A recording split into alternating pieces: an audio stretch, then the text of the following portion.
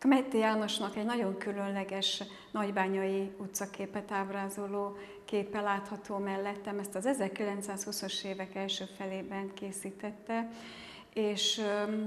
szokatlan egy kicsit maga a mű is, meg maga a kompozíció is, hiszen Kmetti Jánost elsősorban, mint kubisztikus jellegű művek alkotójaként ismerjük.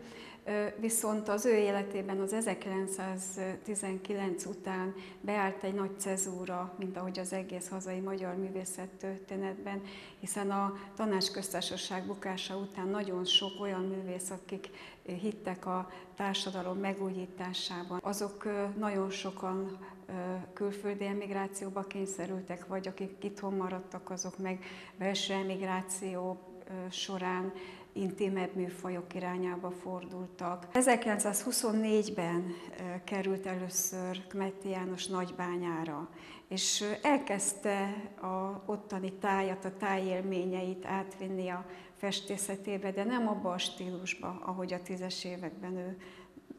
dolgozott. Tulajdonképpen én értelemben lehet azt mondani, hogy újra, újra kezdte egy kicsit a művészetét, és ez a mellettem lévő Nagybányai utcakép is teljesen ellentmond például a kubizmus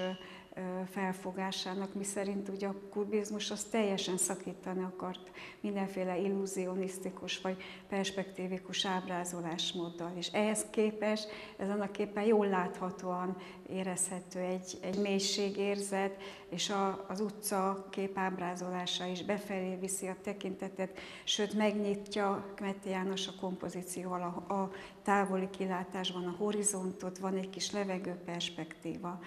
És ilyen értelemben kicsit kilóg valóban a életművéből ez a kép. Maga a mű például a nagybányának egy nagyon jellegzetes motivumát dolgozza fel a, a vörös tornyos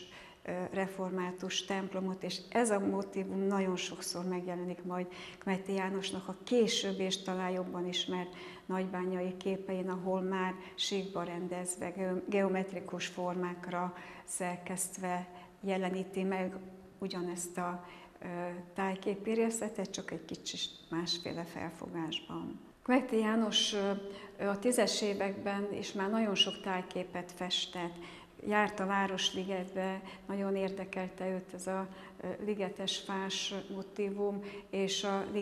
ligeti fák között sétáló alakok. És egy idő múlva elhagyta ezeket a figurákat, az alakokat, mert mindenféle személyes vonás ki akart iktatni ezekből a tájképi látványból, vagy tájképi részletekből. Itt viszont a, ezen a nagybányai képen újra behozza az alakokat, és egy kicsit ilyen pálcikaszerű alakokat láthatunk, de ugyanakkor annak ellenére, hogy adnak az egész képnek egy ilyen, ilyen elbeszélő,